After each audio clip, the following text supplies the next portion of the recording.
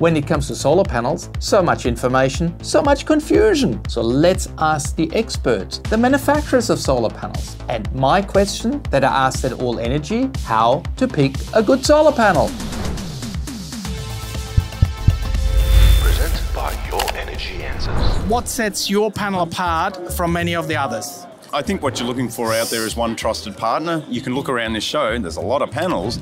How do you really make a distinction between those panels? Qcells has been around a long time. We know how to make a good panel. We have R&D across four centers worldwide actually, and the, the R&D continues. Well, REC is an innovator and REC has was a pioneer, has been manufacturing solar panels for 27 years. The technology REC has developed is something that I consider to be more advanced. Well, Marcus, we are actually launching our N-type panels across the range, and these N-type panels are come with actually dual glass, so no back sheets anymore. So it actually gives a better reliability, more durability, and you get a high energy yield from these. So that shows a differential to lots of other panels that you see on the floor today at All Energy. First of all, LONGi is a brand that spends a lot of money in R&D. Right now, we have the back contact sheet. Some of the most expensive brands, we're not gonna name names, have been using this technology for many years.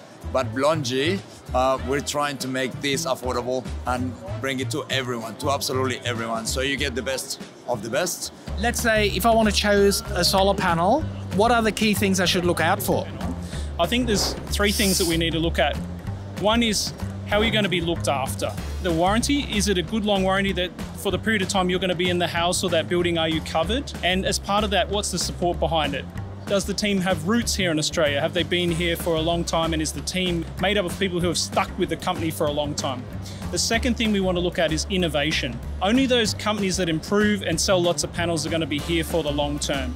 So you're looking for a company that is releasing a product that is similar power or better power than the industry. That shows that you have an innovator there. And the final thing is independent testing. So do they have independent reliability testing?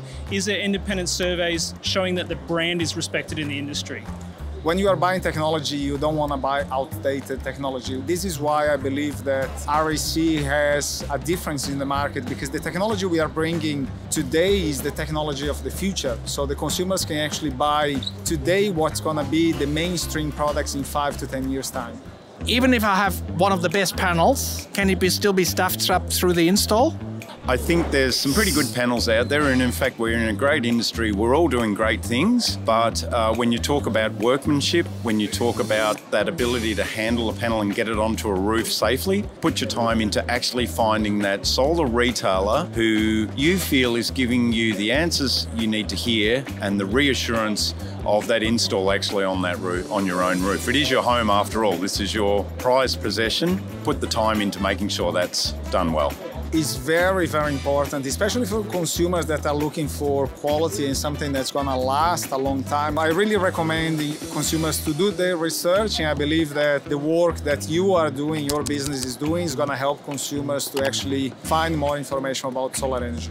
It's very important to have a very good installer who's had a good track record, who's been in the game for, for quite some time. I would also choose a local installer because tomorrow you have a problem with your system, you can call your local installer, and I'm pretty sure the ones that I know, they come down to your place, they get up on the roof and try to fix that problem straight away absolutely important. If you're going to choose a good installations company, you know, you want a company that's actually got a bit of a good reputation, that's been in the market for a little while. Say if you get a new company that's just a startup company, they've been in business for one year, then, you know, how are you going to, you know, follow through on the warranty? So you're saying if a new company is one year in business and gives you a 10-year installation warranty, there's a bit of a discrepancy, is it? Well, I wouldn't necessarily say a discrepancy, but I would probably be looking at those companies that actually been in business for at least, you know, three to three to five years at least, and you know, just do, do, do your background your homework on the company. I like the ones eight to 10 plus years. Absolutely, you can't miss there.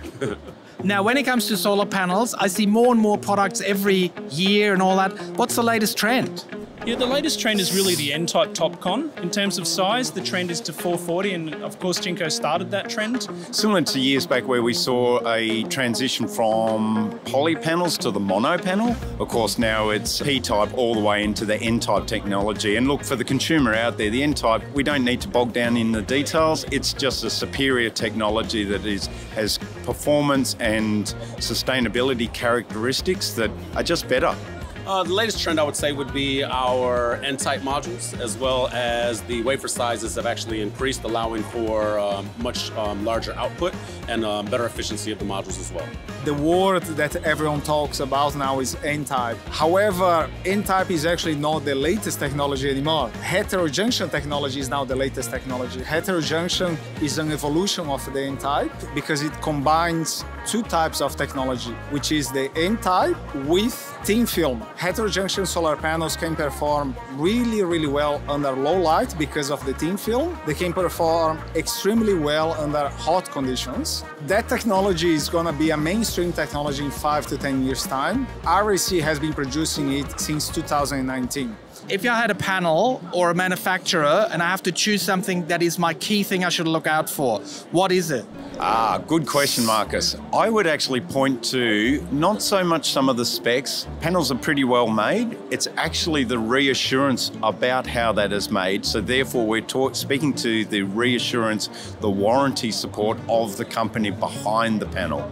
In my opinion, I know that looks important, but that needs to be coupled with quality and reliability. You need to have that peace of mind that when you install this, it's going to last. LONGi panels, they last. I still think it comes back to support. So you're looking for a strong partner that can be there to help you, and that same strong partner can then work with, for example, universities and so on to develop new products and stay strong in the market. First of all, the company track record. What's the company history? How long they've been manufacturing solar panels? Have they had big warranty claims in the past or they've been consistent along the way? So that's one thing is look at the company itself. The second thing is look at the support of this company. So what's the local sales support and after sales support the manufacturer is, is offering?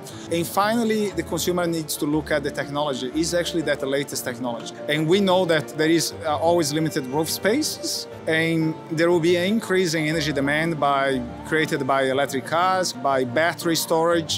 So every kilowatt will count on the roof. So when you when the consumer is buying uh, solar technology, they should look at what's the technology they're gonna need in five to ten years time, and they should be buying the latest technology because that's gonna still be relevant in five and ten years time. So that's my recommendation. Unfortunately, since we filmed this segment, Qcells, one of the largest panel manufacturers, has decided to leave Australia. Now, it's just such a competitive market, and if they can sell their panels in markets like the US and Europe for more profit, then they'll do just that. That's business. Now, Qcell says that the warranties are still valid, people should not worry about anything, and time will tell. But this latest development again tells you pick your solar product with care and go for a local installer, one that is with you through thick and thin. Please support the channel by liking the video, hit that subscribe button and ring the bell, and check out all our other videos. Want more energy answered? Visit yourenergyanswers.com for quality energy products, tools and calculators, and find your quality local installers. You're still here? I'll see you next time. Bye.